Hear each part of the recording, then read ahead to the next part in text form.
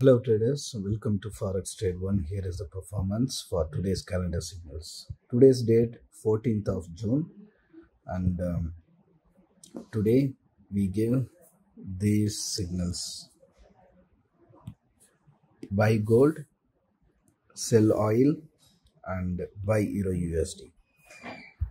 And signals posted in this channel given based on economic calendar data and news also we are considering oversold and overbought market conditions. And uh, signal posted time is 5:18 a.m. GMT this is the signal posted time. Around this time only all three signals posted here.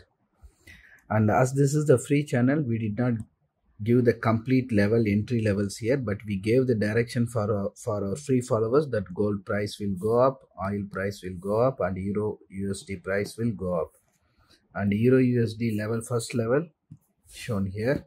And here is a screenshot from our premium channel which we showed with uh, with the levels visible here.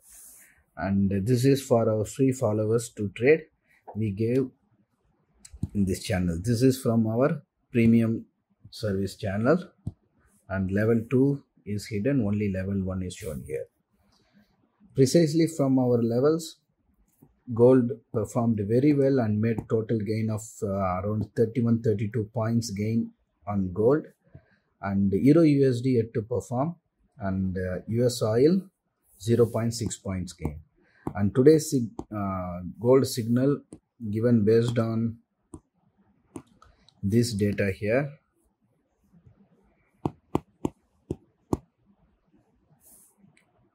Today's michigan inflation data and also fed member speaks. Based on these two reasons we gave gold buy signal and uh, as we predicted gold price really moved very well and made good profit. And here is the this is the post just before the data we posted here. And then uh, here oil paid premium signal uh, screenshot also shared here and precisely performed 0.6 point gain on oil.